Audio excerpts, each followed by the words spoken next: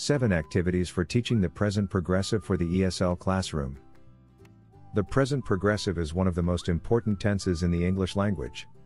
As it describes actions currently happening, it's quite an easy tense to teach using a variety of fun and interactive activities. Here are 7 activities for teaching the present progressive for the ESL classroom. 1. Look around. Have your class make observations about what's happening all around in the classroom and outside the windows.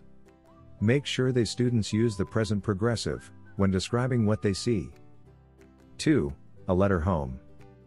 Ask your students to write a letter to a parent, relative, or friend, describing their life as an ESL student.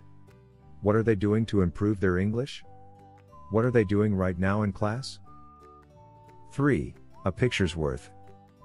Prepare a variety of interesting pictures to share with your class. This can include anything from ads in a newspaper or picture books. Hand out the pictures to your students, and have them describe what is happening in the images one by one. 4. Charade Call Out. Charades are a useful tool for a variety of ESL activities.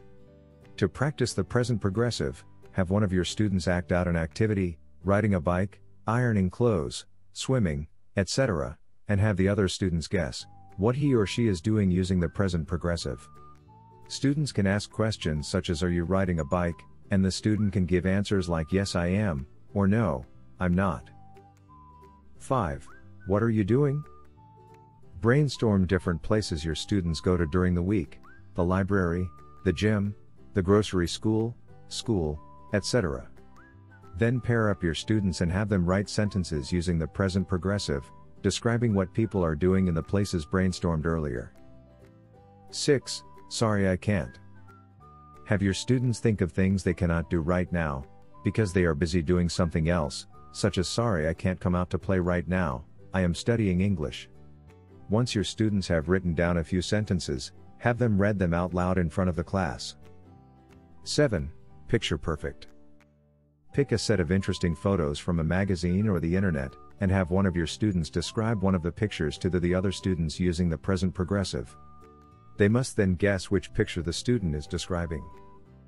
Are you ready to teach English abroad? Thanks so much for watching. We are ITTT, the leading provider for TEFL and TESOL training courses. If you like this video, please subscribe by clicking that button down here and click on any of the videos here on the left for more interesting teaching tips for getting certified to teach English abroad and online.